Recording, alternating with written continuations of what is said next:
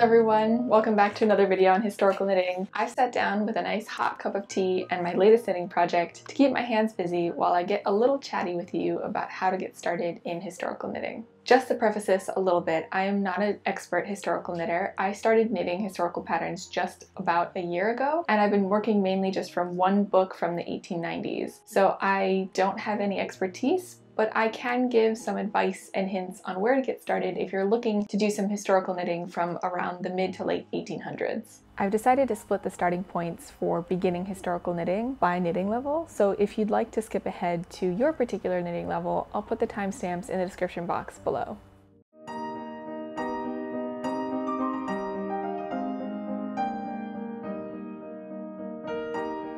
If you've never knit before, or it's been a while since you knit your last row and you still classify yourself a beginning knitter, you can actually get started right away with historical knitting. In fact, I believe that there's a pattern in my 1892 copy of The Art of Knitting that is a perfect first project. For many people, a simple scarf is usually the absolute first project that they ever knit. But there's actually a knit towel pattern in this particular book that I think lends itself also very well to being a first pattern. Unfortunately, I don't think that the original instructions that come with this knitted towel pattern are quite enough for someone who is a beginning knitter or a completely new knitter. So I've decided to translate that pattern and include as many explanations, pictures, and links to videos as I could to allow this to be the first project for anyone anyone who has never knit before, so that your first project can be an antique pattern. The link to the pattern is in the description box below, and I've made it free because I want to make sure that anyone can get started in historical knitting, no matter your knitting level. At the end of the pattern, I've also included three different variations of the towels. They aren't particularly historically accurate, but I wanted to kind of give a progression for people who are completely new to knitting to work through so that after they're done knitting those three variations, I believe that you'll have all the skills necessary to knit some of the patterns that I'll mention in the intermediate section. So hopefully that gives you a bit of a bridge on how to get from the beginning knitter level for historical knitting to the intermediate level.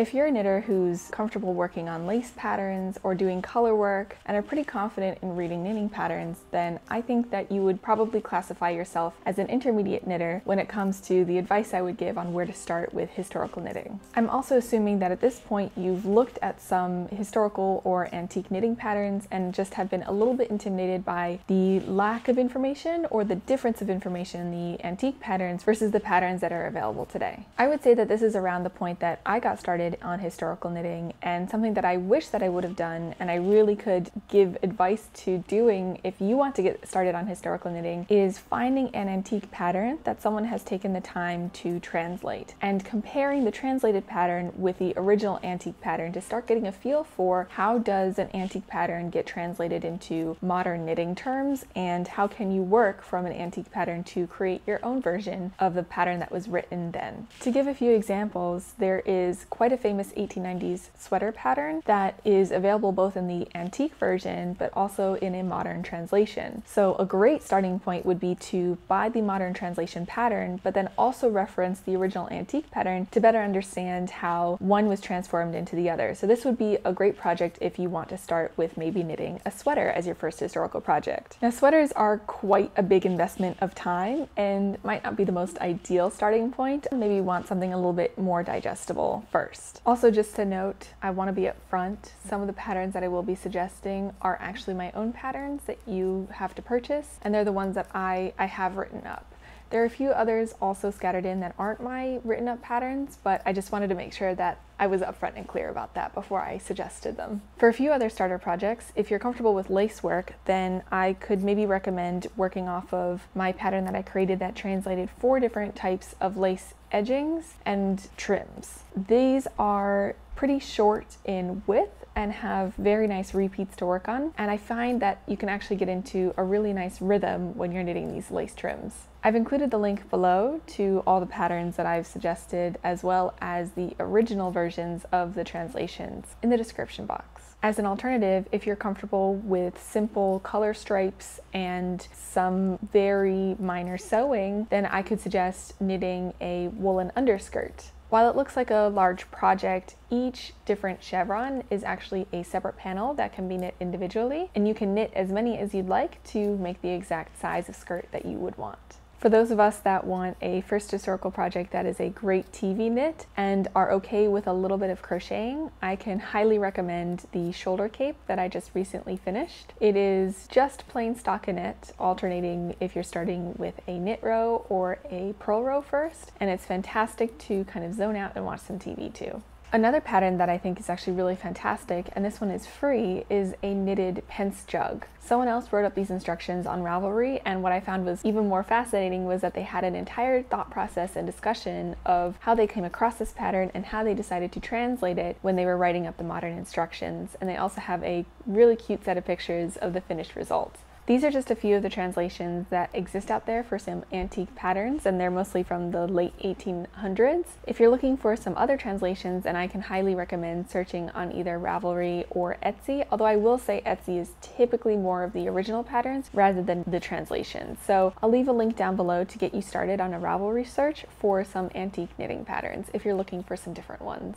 And of course, I'll be continuing to knit some more historical patterns. So if you continue to follow me, then I'll be releasing more historical patterns that you could potentially work off of as well. Now, once you've worked off of one or more translated historical knitting patterns, you might start wanting to work on some patterns that haven't yet been translated and maybe want to do your own. So I'll talk about how to translate your own antique knitting patterns from the original pattern in the next section.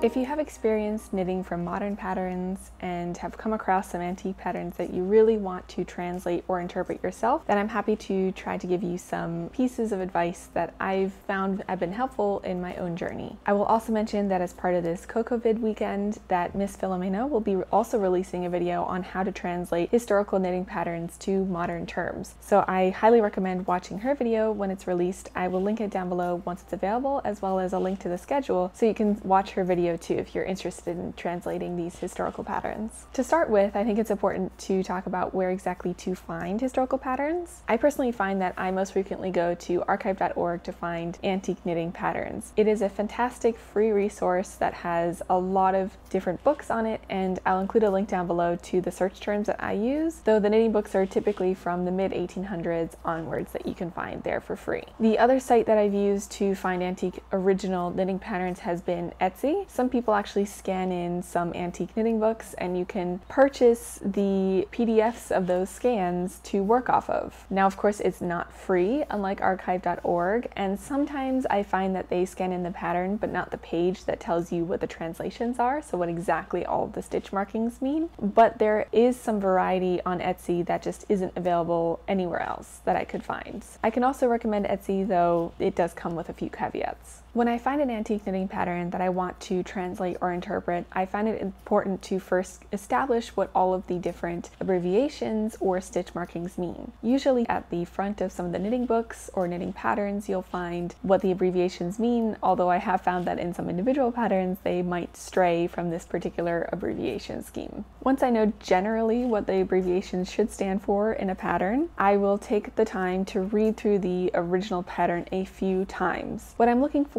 is to get a general feel of the construction of the item. Will I be knitting it from left to right, top to bottom, bottom to top? Is it knit flat or in the round? How many stitches am I casting off? Does it generally make sense with the stitch counts that it's talking about? And sometimes for the more complicated patterns, I'll actually have a notebook next to me and I'll sketch out exactly what the construction is supposed to look like as I'm working through the pattern and as I'm reading through the pattern, noting where things seem a little bit unclear or I might need to do a few different variations to understand exactly what the pattern is suggesting. I will note that I have found a few errors in the patterns in terms of stitch counts or lace repeats or repeats in general. So that I would say is probably the hardest thing to try to interpret because you do know that it isn't going to work as written, but you do want to interpret what's written as best as possible. If you are interpreting something for the first time, I would highly suggest interpreting something with a picture or a sketch because actually find that the sketches, especially that were done of the knitted items, are